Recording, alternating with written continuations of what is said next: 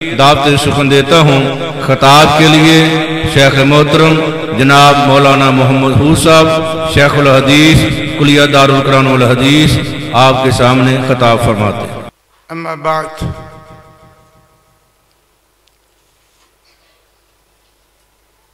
हदसना इसहाक बन याकूब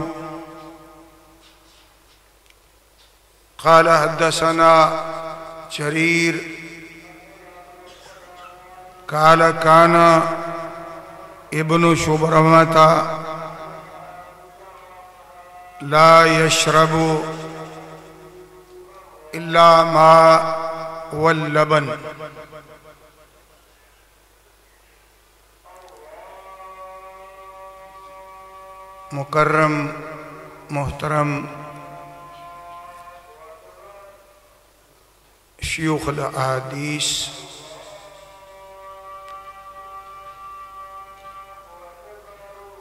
और कुलिया हाजा के मोहतमम और इस और अज़ीज़ तलबा और सामीन हजरात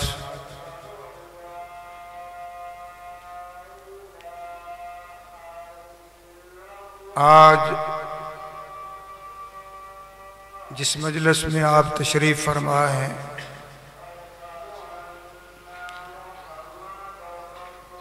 ये खलासतुल अर्ज़ लोग हैं कि जिनको अल्लाह ने अपने दीन की आबियारी के लिए मुंतखब किया है।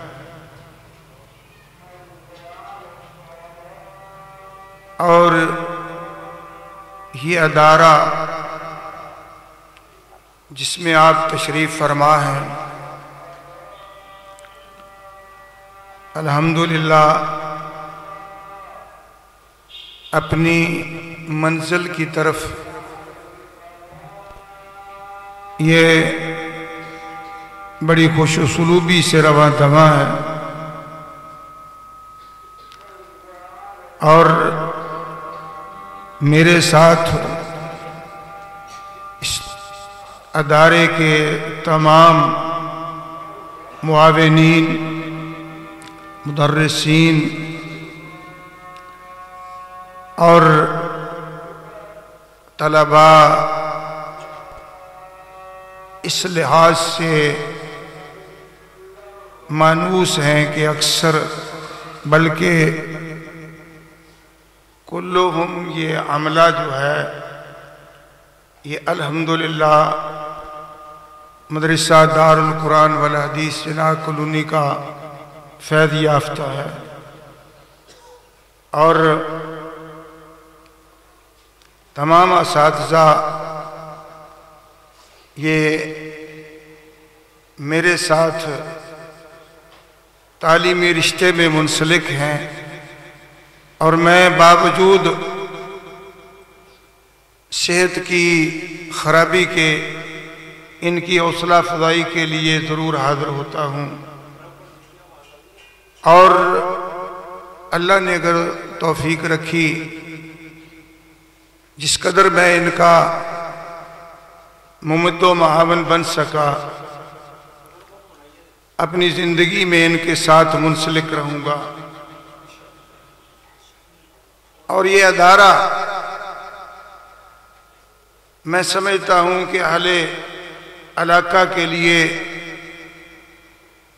एक बहुत बड़ी अल्लाह की नेमत है। तुम्हारी नस्लों की तरबियत के लिए ये आवाज़ें क्यों आती हैं? तुम्हारी नस्लों के लिए और उनकी रहनमाई और उनकी असल जो मनहज है, मसलक है, अहले सुन्ना का, अहले हदीस का, इस लिहाज से उनके लिए ये एक बहुत बड़ा सुनहरी मौका है। सिर्फ़ उन्हीं को फ़ायदा नहीं है कि जो तालब इल्म यहाँ वक़्त देकर तालीम हासिल करते हैं, बल्कि उनके वालदेन खसूस उनके जो बाप, उनको भी चाहिए कि तुम्हें अल्लाह ने ये सआदत अता की है कि अपने होनहार बच्चों को इस तालीम के लिए तुमने वक्फ किया है। ये अल्लाह का आप पर एहसान है। आप भी जिस उम्र में भी हो, ऐसे माहौल में कुछ ना कुछ वक़्त देने के लिए लाजमन कोशिश किया करो। क्यों? हमाम बुखारी रहमा किताबुल इल्म में उन्होंने तर्जमातुलबाब के एतबार से हज़रत उमर रज़ी अल्लाह तु का कौल नकल किया है। फरमाते हैं कि तल्लम कबल अन तसवदू लोगों, तुम पर जिम्मेदारियाँ पड़ेंगी। उन जिम्मेदारियों को सही मानों में निभाने के लिए तुम्हें चाहिए कि अपनी ज़िंदगी के अंदर जो जिम्मेदारियाँ तुम पर आयद होंगी, उनको सही उसलूब के साथ तुमने अगर अदा करना है तो उसके लिए तालीम तुम्हारे लिए ज़रूरी है।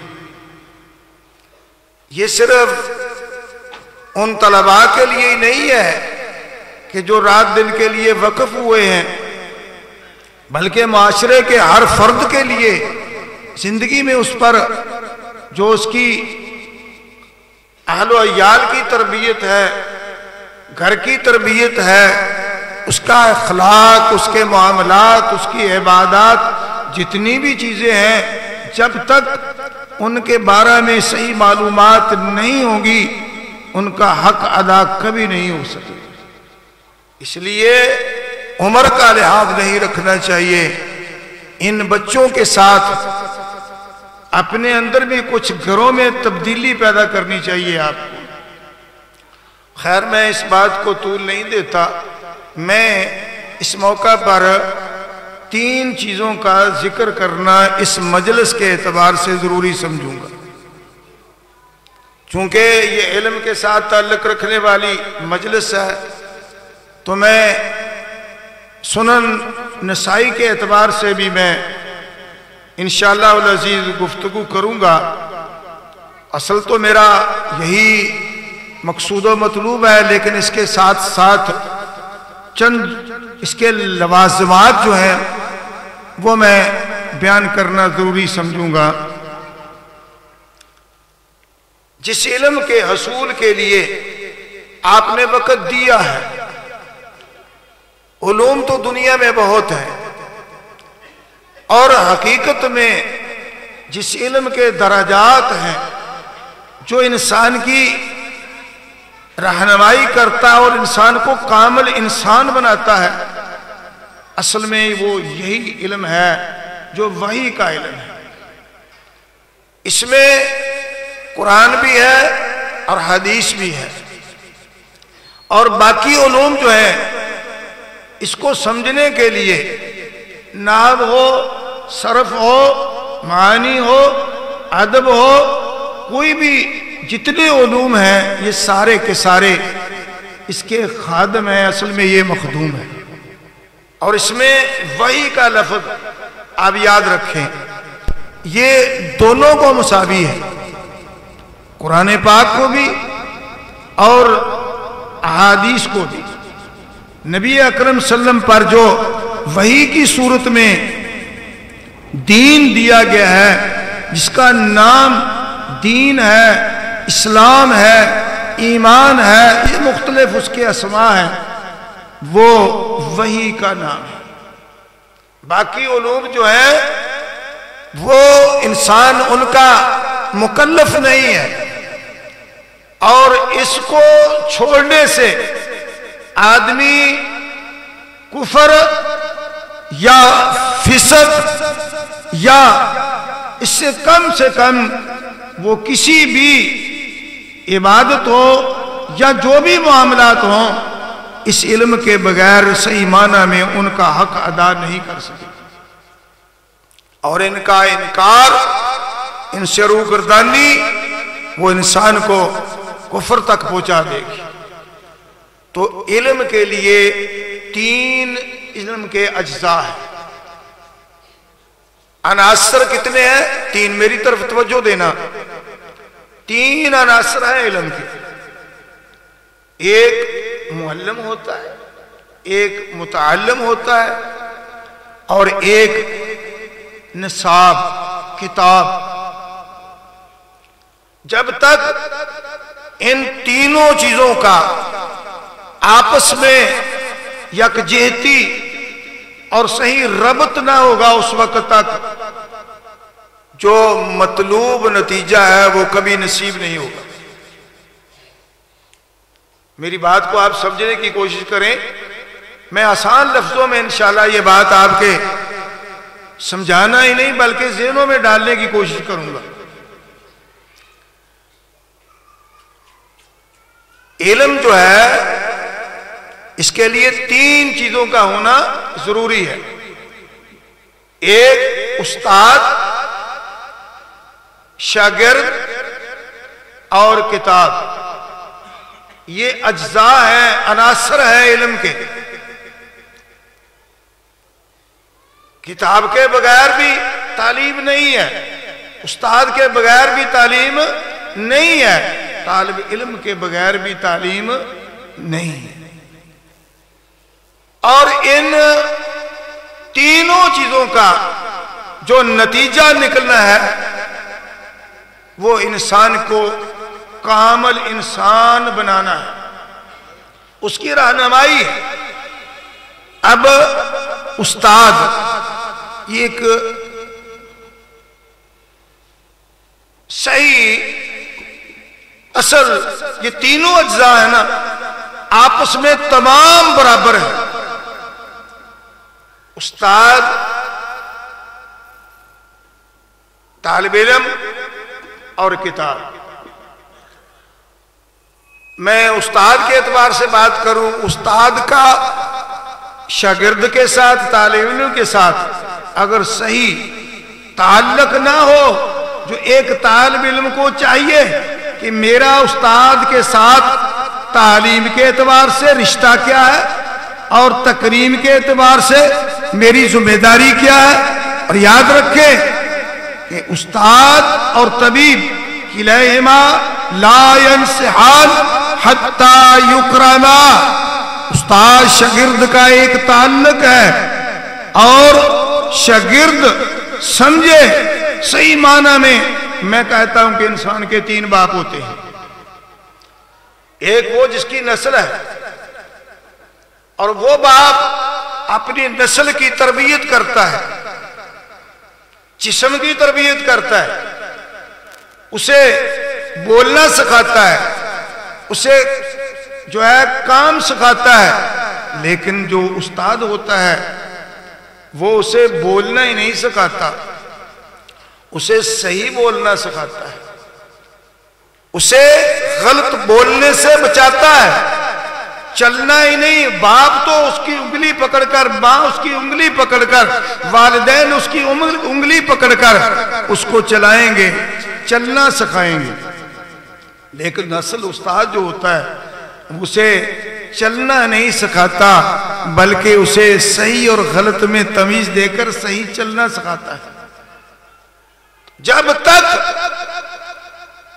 ये सीखने वाला तालब इलम, इसका उस्ताद से वो ताल्लुक, जो बाप वाला जो औलाद के साथ ये ना हो तो सही माना में ये उसके इलम से फैज याब नहीं हो सके।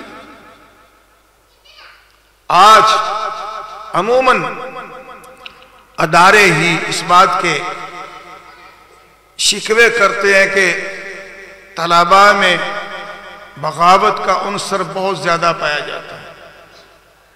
मैं कल ही कोई आदमी बता रहा था, दीनी अदारों में भी ये फजा जो है वो बहुत फैल रही है बीमारी की सूरत में, कि तलबा के अंदर बगावत का अनसर ना उस्ताद की परवाह है, ना अपनी तालीम की परवाह है, और ना ही अपनी ज़िम्मेदारी का एहसास है। वो वालदेन जिन्होंने उसको वकफ किया, उनका भी एहसास नहीं आइए मैं तुम्हें थोड़ा सा इसके बारे में झलक देता हूँ कि जिन लोगों ने दुनिया के अंदर कोई फैज हासिल किया है, कोई मकाम हासिल किया है, कोई रुतबा हासिल किया है, कोई एजाज लिया है, वो तस्लीम में हो और वो तकरीर में हो, वो तदरीस में हो किसी भी शोबे में दीन के साथ तल्लक रखने वाले जितने शोबे हैं, उसमें जो उसने फैज लिया, उसके पीछे क्या चीज़ें होती हैं? उस्ताद अमाम बुखारी रही को ले लें। उनकी सीरत एक बहुत बड़ी लंबी चीज़ है। उनका उस्ताद के साथ ताल्लुक सुन लें। उनके उस्ताद थे अबू माशर आँखों से नबीने थे।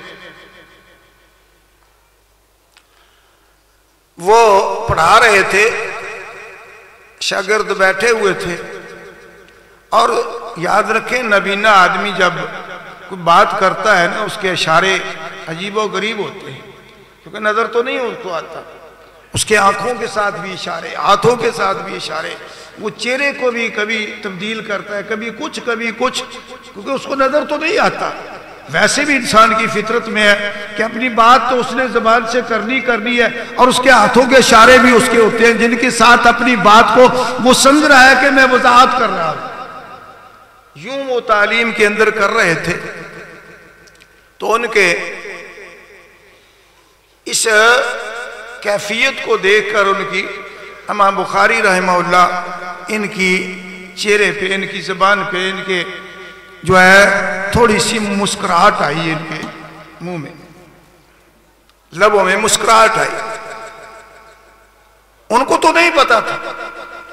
जब ये फारग हुए क्लास से तालब इलम चले गए, इमाम बुखारी रहमा अपने उस्ताद के पास आए और बड़ी आजी के साथ आप दीदा होकर कहने लगे कि, उस्ताद जी, मुझे मुआफ़ी दे दीजिए।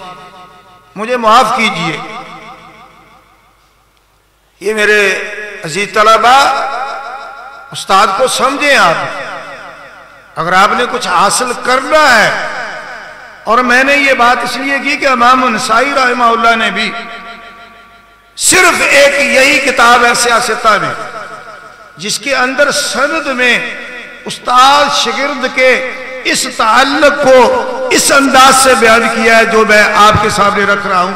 इसी नस्बत से मैंने चंद जो है, होनहार लोगों का तस्करा करना है कि जिनको अल्लाह ने कोई मकाम दिया था इस दुनिया के अंदर, कि उनके पीछे और उनका ताल्लुक उस्ताद के साथ क्या होता है, ताकि आपका भी एक हद बन जाए, आपका भी एक टारगेट हो, आपके भी जेन में एक नक्शा। हम बुखारी राय मौल्ला फरमाने लगे कि उस्ताद जी, मुझे माफ़ कीजिए। वो कहने लगे, बेटा, क्या कहते हो? मुझे क्या पता कि किस बात की? क्या आपने कसूर किया? मेरी निगाह में कोई आपसे गलती तो हुई नहीं है। मुआफी किस बात की मांगते हो? कहने लगे, मुआफी इस बात की माँगता हूँ कि आप पढ़ा रहे थे। और आपको पढ़ाते हुए आपकी कैफियत देखकर मुझे मुस्कुराहट आई।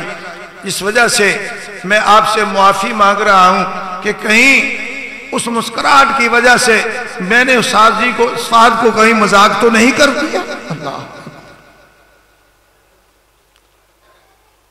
ये अल्लाह ने उनको अगर ये मकाम दिया था कि उनकी किताब असहुल कुतुब बाद किताब अल्लाह दुनिया के अंदर अगर दर्जा मिला है तो समझे उनके किरदार का उस्ताद के साथ ही उनका रबत बड़ी मसाले हैं आए हमाम नसाई रही आप इसकी हदीस नंबर किताब तहारा में बीस को निकाल कर देखे। और उन्होंने बाप बांधा है, इमाम साहब ने इसके ऊपर कि बाब तदबीर इंदा कजाइल हाजा इल किबला। और वो रवायत लाए हैं उसका आगाज़ करते हदसना हार सुबन किरातन आलवान असम ये आपने पढ़ी होगी, आपके उस्ताद भी शायद बताया हो आपको कि सिर्फ़ इस किताब में ही ये वाक्य मौजूद है। ये अल्फाज बोलते हैं, उस वक्त जब हारस में भी मिसकीन, इनके उस्ताद अल्लाह के इनके इस वो सजा माँ बुखारी भी इनके उस्ताद थे। आपने भी अजरा मौला लिखा है कि अहमद बिन शुएब अमाम नसाई इनके इस की सफ लंबी है। उनमें से इमाम साहब देखें, शुरू के अंदर अपने उस्ताद के हवाले से हारिस बिन मिसकीन का तस्करा कर रहे और आखिरी रवायत जो मैंने जिसकी सनद बड़ी थी, वो असर है, असर मकतू है। मकतू मरफू के मुकाबले में। मकतू उस असर को कहते हैं, जिसका जो फ़ाइल है, वो करने वाला अमल है, वो ताबी या सहाबी हो तो वो रवायत, वो असर मकतू होता है। मरफू के मुकाबले मरफू वो होती है, जिसकी सन नबी अकरम सलम तक मुतसिल हो। ये तबा ताबी है। इबन शुबरमा, मैं उसका बाद में तस्करा करूँगा। हारस बिन मिसकीन, अमाम नसाई रहमा के उस्ताद है। और अमाम साहब का तकवा देखे कि वो बयान करते हैं हदीस को, उसी तरह बयान कर रहे हैं। कहते हैं कि मेरे उस्ताद, उन पर पढ़ा जा रहा था, मैं सुन रहा था, लेकिन सुनने में मैं क्लास के अंदर मौजूद ना था। हुआ क्या मामला? कि हारस बिन मिस्कीन इनके उस्ताद थे, इमाम नसाई इनके पास पढ़ते थे। कोई ऐसी गलती हुई जिसका तस्करा नहीं? कि उस्ताद नाराज़ हो। उन्होंने इनको क्लास से निकाल दिया कि जाओ, मेरी क्लास में बैठने के तुम आज नहीं हो। तालब इल्मो ख्याल करना। तुम कहते हो कि हमारे लिए अगर ये उस्ताद नहीं तो दुनिया में उस्ताद खत्म हो गए। ये अदारा नहीं तो दुनिया में अदारे नहीं। ये नहीं पढ़ाएगा तो हम पढ़ेंगे नहीं। देखेंगे जब मेरी तालीम का सिलसिला मुनकते हो जाएगा। हज़ारों सोचे सोचते हो तुम। देखे अमामन सही तुम्हें क्या सबक दे रहे हैं। कहते हैं कि मुझे जब उस्ताद जी ने कहा कि क्लास से चले जाओ तो मैंने उनकी दिल आजारी भी ना की, लेकिन मैंने जाना भी गवारा ना किया। ये सम्मा खैरा की बीमारी ना थी उस वक्त। उस्ताद के साथ ये रबत था। कहने लगे, साथियों को ये इतनी सहूलतें भी ना थी उनको। कि इतने कमरे हों उनके, अलहदा रहने के लिए, अलहदा क्लासरूम हो उनके लिए, उनके एयर कंडीशन चलते हो, उनके लिए हीटर चलते हो, ये चीज़ें ना थी। जिस हमारे हम भी जब पढ़ते थे ना, मौला यूसुफ अनवर साहब मौजूद हैं, दाल कुरान के अंदर जब पढ़ते थे, जिन कमरों में हम पढ़ते थे, उन्हीं कमरों में हम सोते थे। बिस्तरे भी एक कोने में रखे होते थे। और अपने बर्तन, कोली, बर्तन छाबी होती थी, जाकर रोटी अपनी लानी बैठ कर उसी कमरे में खानी। वही कमरा हमारी तालीम का होता था, वही कमरा होता था हमारी रहायश का। ऐसा ही मॉल वहाँ था। तो कहने लगे कि उस्ताद जी जब आएँगे ना, उनसे पहले कहीं मुझे बिस्तरे में छुपा देना। मैं जाऊँगा नहीं छोड़ गौर करो, अगर कुछ लेना है बनना है तो अमाम नसाई के पीछे ये चीज़ें मौजूद थी। अमाम बुखारी का तस्करा किया कहने लगे, मैं जाऊँगा नहीं, लेकिन मैं हदीस पढ़ूँगा। तभी वो कहते हैं, किरात डाले है मैं छुप के सुन रहा था और वो पढ़ा रहे थे और मैं ना क्लास छोड़ी, ना सबक छोड़ा, ना उस्ताद की दिलादारी की, ना उनको तंग किया, बल्कि मैं छुप के उनसे हदीस पढ़ता रहा और आखिरी वक्त तक जब फारग होकर गया तो मैं उनका ममनून था, छुप के पढ़ा मैंने। ये नहीं कि उनकी दिलादारी की।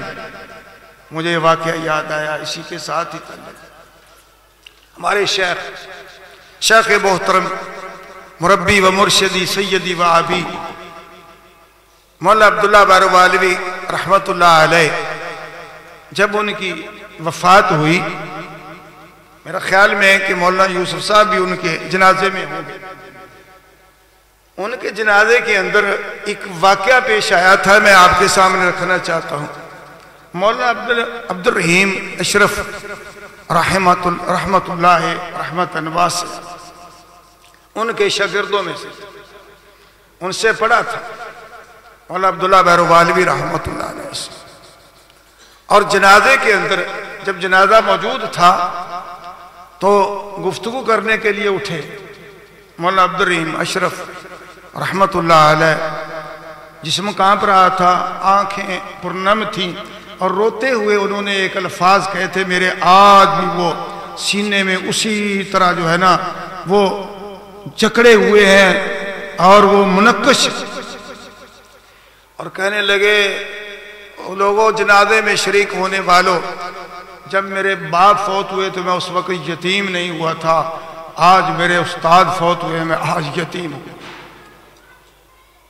अगर आपको लफ्ज याद हो, मौलाना साहब, ठीक, ये ये अल्फाज थे उनके। उनकी भी उम्र उस वक्त सत्तर साल से ज़्यादा होगी। तो उस उम्र में कहते हैं, कहने लगे, मैं आज यतीम हुआ हूँ, क्यों? कि मेरे मुरबी मेरे मुर्शद और मेरी तरबियत करने वाले मेरे बाप न थे, ये मेरे उस्ताद थे जिन्होंने मुझे इस मुकाम पर पहुँचाया कि आज मैं एक हकीम भी हूँ और एक मुदर्रस भी हूँ और एक मदरसे को चला रहा हूँ और इन्हीं की मरहून मिन्नत है। यह साथ मैं इनकी तल्लकात ज़िक्र करूँ तो उसके लिए मेरे भाइयों, एक बात ज़िक्र करने के बाद अगली बात का तस्करा करता हूँ। कि उस्ताद के साथ तालब इल्म का ये ताल्लुक चाहिए। आज अदारों में अक्सर शिकवे हैं कि तलबा जो है, वो बगावते करते हैं, साजा की बात नहीं मानते और बल्कि हड़तालें करते हैं और इश्तिहार लगाते हैं और उस के बारे में गलीज गालियाँ बोल बकते हैं और लेटरिनों में लिखते हैं। तुम्हारा और कॉलेजों के तालब इलमों का फिर फ़र्क क्या रहा? अगर आपने कुछ बनना है तो उसके लिए ये रास्ता है। ये ताल्लक सीखो। अलामा एहसान जहीर रहमत रहमतन अल्लाह अकबर, इनका तस्करा मैं आपके सामने रखता हूँ, शायद आपने ना सुना हम सऊदिया में गए थे कुछ देर पहले, सब साथियों को पता है वफद की सूरत में।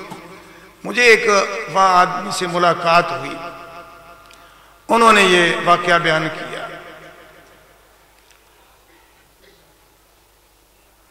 वाक्य ये कहने लगे कि अलामा साहब जब यूनिवर्सिटी में पढ़ते थे तो शेख अलबानी, नासरुद्दीन अलबानी रहमतुल्लाह उस वक्त यूनिवर्सिटी में पढ़ाते थे। कहने लगे कि मैं अचानक हुकूमत की तरफ़ से उनको यूरोप के दौरे के लिए भेजने का प्रोग्राम बना, शेख अलबानी को। कहने लगे, उन्होंने कहा कि मेरे साथ एक साथी चाहिए, ताकि वो भी जयफुल उमर थे, कि वो मेरे लिए, मेरे सफ़र का जो खादब बन के मेरे साथ जाए, मुआवन बन के जाए, मेरी कुतुब को और मेरी ज़रूरियात का लिहाज रखे। अलामा जहीर रहमत इन्होंने जाकर मेहनत समाजत की कि शेख जी मुझे अपने सफ़र में साथ ले जाए। मुझे आपकी खिदमत का मौका मिलेगा। ये अलामा ने जो अब तुम्हारे अहल दिसो तुम पर तो उस आदमी का बड़ा एहसान है। तुम्हें उन्होंने जीना सिखाया। तुम्हारा नाम तुम लेना तुम्हें गवारा ना था।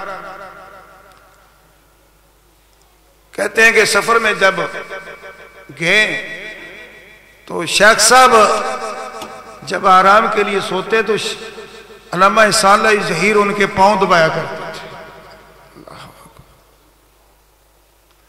मैं तो इन तस्करों को शुरू कर दूँ तो मेरी जो हकीकत बात है, दिल बड़ा दुखता है। तलबा की इन कैफियतों से कि ज़िंदगी के उस हिस्से में हम और तालब इलमों के जो मुझे खबर लगी कि जामिया सल्फिया के अंदर जो वो यासिन ज़फ़र हाफिजा ये भी दाल कुरान के तालब इलमों से और मुझसे भी उन्होंने पढ़ा। वो बयान करते हो रोने लग गए कि तालब इलमों की हरकतें ऐसी बन चुकी हैं कि उनके अंदर बगावत के अंदर सूबे पाए जा रहे हैं।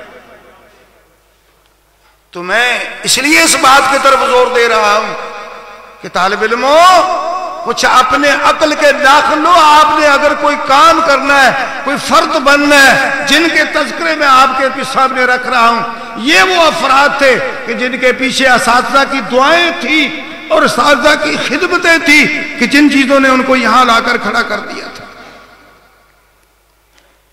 और उसके बाद तालब इल्म के बारे में मुझे वक्त का बता दें, भी कितना साथियों, मैं ताकि बात को समेटूं मैंने हदीस के बारे में भी ज़िक्र करना है। ये चीज़ें ज़रूरी हैं। तालब इल्म के लिए भी ये तो उस्ताद का मामला था। तालब इल्मो, तुम वो लोग हो जो नबी की मीरास के वारस बन रहे हो। तुम्हें तो नबी की दुआएँ मिल रही हैं। तुम्हें तो नबी अकरम सल्लम की ज़िंदगी का आप देखे, आपकी ज़िंदगी से सबसे आला सासा साहब सुफा देख ले, सही बुखारी के अंदर वाक्य मौजूद है।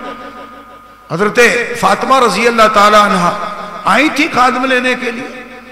तो क्या कहा था नबी अकरम सल्लम ने? फरमाया था, बेटी, तू ठीक मेरी लखते जिगर है। तू मुझे प्यारी है, लेकिन याद रख, तुझे खादम देने की बजाय इस खादम को बेचकर मैं साहब सुफा, जो मेरे दीन के तालब इलम है, मेरा पैसा, मेरी रकम और मेरी कमाई और मुझे आने वाली रकम जो है, वो अपनी बेटी पे मैं नहीं लगाऊँगा, वो मैं दीन के तालब इलमों के तेरे नबी के नज़दीक ताल इल्म की कदर अपनी बेटी से भी तुम कहते हो कि अव्वल खेश बाद दरवेश, नबी कहा करते थे, अव्वल दरवेश बाद ये तालब इल्मों का मकाम है। मैं इसके लिए भी बातें बयान करूँ तो लंबी है। फिर आ गया है किताब। किताब तुम्हारे लिए वही है। तुम्हारा निसाब जो है, ये वही है।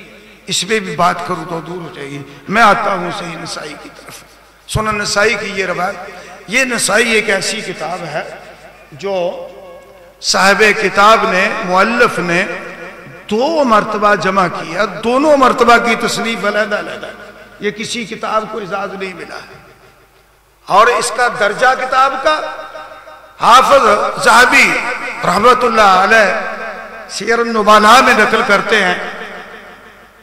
हाकम का ये कौल अमाम हाकम कि मुस्लिम और बुखारी के बाद बुखारी और मुस्लिम के बाद अगर सियासता में किसी किताब का दर्जा है तो वो सुनन नसाई का है। अमाम नसाई रहमा ने अपनी किताब को पहले लिखा था, उसका नाम था सुनने कुबरा। और उससे फिर ये ये किताब जो तुम्हारे हाथों में है, ये मुजतबा है। इसका नाम तीन है, इसका नाम मुजतबा भी है और सुगरा भी है और मुजतना भी इसका। जना से चुनना। मैं बहुत इकसार की तरफ़ आता हूँ, तवील बात से छोड़ता हूँ। और इनकी दूसरी मर्तबा लिखने का सबब क्या था? इसलिए एक तो उनकी ये थी कि मैं अपनी किताब को अपने उस्ताद के रंग में लिखूं। इमाम बुखारी रहमल्ला के रंग। देखे ना आप कुबरा का नुस्खा लें और उसका आगाज़, कुबरा का नुस्खा ले और कुबरा में जो सबसे पहला बाप बनता है, अमाम नसाई ने कुबरा में, वो बाप है बाबुल यानी बाबू वज़ू नायम लेके आम सलाद। और कमा खान इस तरह उन्होंने बाप बांधा है कि जो आदमी सोया हुआ, बाबुल वज़ू नायम, जो सोया हुआ उठकर उसने अगर नमाज़ अदा कर दी तो उसका वज़ू और जब उन्होंने उसके बाद लिखी उससे कुबरा से मुजतबा तो उस वक्त उन्होंने इस तरह आगाज़ किया जिस तरह अबा बुखारी ने, अमूमन सारी बुखारी के अंदर सबसे पहले वो कुरान पाक की आयत लाते हैं और उसके बाद उसके नीचे हदीस लाते हैं। और उससे जार क्या कर रहा है? ये भी एक बात नुकते की समझ लें तालब इलम। इमाम बुखारी ने जो लिखा है, इमाम बुखारी की किताब सारी की सारी जो है ना, वो बातल फिरक के रद्द में है। असल जितने भी उस वक्त के फिरके थे, बाद में आने वाले थे या पहले गुजर चुके थे अमाम नसाई रहे अमाम बुखारी रहे मौला ने उन तमाम का रद्द जो था, वो बुखारी के अंदर आने वाले जो है बातल फिरक, उनका भी रद्द कर दिया था। अमाम बुखारी जैसी किताब ना उनकी ज़िंदगी में किसी ने लिखी, और ना ही उनसे पहले लिखी गई थी, और ना ही आज तक किसी ने उसकी लिखी और ना क्यामत तक लिखी सके।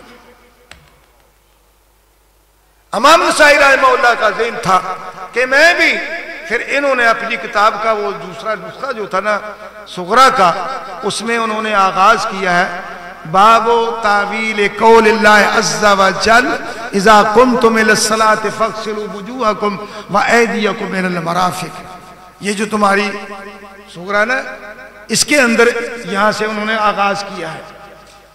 अपने उस्ताद का लिहाज रखते हुए, और आखिर में रवायत जो लाए हैं इबन शुबरमा का जो फेल है, उससे जो मसाइल मुस्तमत होते तो अपनी जगह पर है। उसके आखिर में लाने के सबब पहला रावी जो है, वो है इसहाक बिन इब्राहिम। और ये इसहाक बिन इब्राहिम मशहूर नहीं इब्राहिम के नाम से। ये अमाम बुखारी के भी उस्ताद हैं। बल्कि अमाम बुखारी रहमा ने बुखारी लिखी थी तो इन्हीं की जो अशारे के साथ, इन्हीं के कहने के साथ, इन्हीं के, यानी तवज्जो दिलाने के बाद अमाम बुखारी ने बुखारी लिखी थी। क्योंकि इनके साथ पढ़ रहे थे अमाम बुखारी रहमा तो इन्होंने मजलिस में बात की थी कि काश के कोई तलबा तुम में से हम में से कोई आदमी ऐसा हदीस का जमा कर दे, जखीरा जो सारे का सारा सही हदीस पर जो है जमा मुश्तमिल तो कहते हैं कि इसहाक बिन राहवे, ये मेरे उस्ताद थे, इनके कहने के बाद मैंने दिल में ठान ली कि ये मुझे काम करना चाहिए, इमाम बुखारी इमाम नसाई ने आखिर में जो हदीस ज़िक्र की है, उसके पहले रावी जो है, इनके अपने उस्ताद, वो इमाम बुखारी के भी उस्ताद है और इमाम नसाई के भी उस्ताद है, इसहाक बिन राहवे। इसहाक बिन हदसना इसहाक इब्राहिम अन जरीर। ये जरीर भी तबा ताबी है। ये जरीर बिन हुमैद है। ये भी कूफे के हैं। और वो नैसापुर के हैं। और कूफे के ये गवर्नर थे। यानी ये जज थे कूफे के। काजी थे कूफे के। जरीर बिन हुमैद। और आगे है इबन शुबरमा। इबन शुबरमा अब्दुल्ला बिन शुबरमा इबन शुबरमा कहते हैं कि हमेशा अपनी ज़िंदगी में चूँकि किताबुल अशरबा आखिर में। तो किताबुल अशरबा में सबसे बाद में जो इमाम साहब रवायत लाए उससे मकसद इमाम साहब का तकवा है। कि अपनी किताब का अख्ताम इस बात कर रहे हैं कि इबन शुबरमा रहमाहुल्ला नबीज नहीं पीते थे, बल्कि नबीज की जगह पर या पानी पीते थे, या दूध पीते थे। और इसके ऊपर ज़िक्र की है रवायत इब्राहिम नखी की। वो जो है, वो नबीज के पीने के कायल थे, और उनमें अगरचे नशा भी हो कि यह एक लंबा मसला है कि अहनाफ के नज़दीक क्या है, और मुहदसिन के नज़दीक क्या है। मैं उस बात को नहीं छेड़ता। मालूम होता है कि मुझे इशारे मिल रहे हैं कि बात को जो है आप मुख्तर करें। तो मैंने बात को पहले ही तूल दे दिया था। तो आगे मैं बात को मुखसर करता हूँ, इसी पर ही बल्कि इतफा करता हूँ। मेरा गला भी अपना कुछ इजाज़त नहीं देता।